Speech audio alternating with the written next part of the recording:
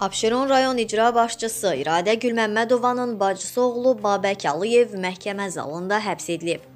Bakı Ağır Cinayətlər Məhkəməsində hakim Əli Məmmədovun sədrliyi ilə keçirilən iclasda Abşeron rayon icra hakimiyyətinin həbsdə olan Memarlıq və Tikinti şöbəsinin sabiq müdiri Akif Əliyev, Abşeron rayon icra hakimiyyəti Xırdalan şəhəri 3 saylı mənzil təsərrüfat istehsalat istismar təmir sahəsinin sabiq rəisi Murad Əhmədov, Cəfər Əkbərov, Seymur İsmailzadə, Şamil Xəlilov və daha 9 nəfərin cinayət işi üzrə üzrə məhkəmə iclası keçirilib. Hazırlıq iclasında Babək Aliyev və Tural Ağaməmmədov barəsində seçilmiş polis nəzarətinə verilmə qəti imkan tədbiri dəyişdirilib və hər iki şəxs məhkəmə zalında qandallanaraq həbsə alınıb.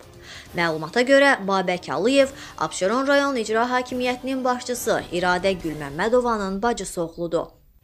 Digər həbs edilən şəxs Tural Ağaməmmədov isə Abşeron rayon Aşağı Güzdək bələdiyyəsinin sədr müavini olub.